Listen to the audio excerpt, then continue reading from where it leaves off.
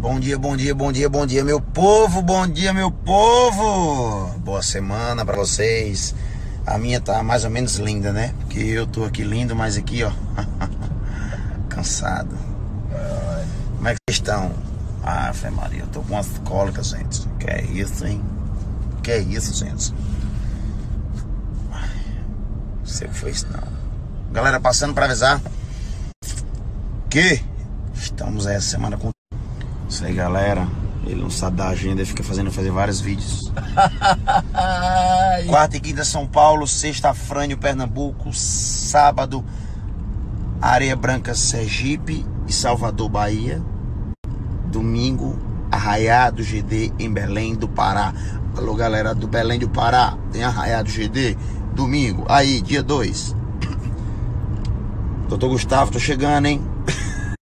Agradecer também toda a galera que tá escutando o nosso Uma Dose com GT, tanto na sua música quanto no YouTube. É, tô muito feliz, um projeto que tá surpreendendo, a galera tá curtindo pra caramba. Tão baixando. Já mais de 6 milhões de plays. E as músicas com várias execuções no YouTube. Então se você não conferiu, confere. Uma dose com GT. Aí, ó, fazer ozônio agora. Ozônio é bom pra quê?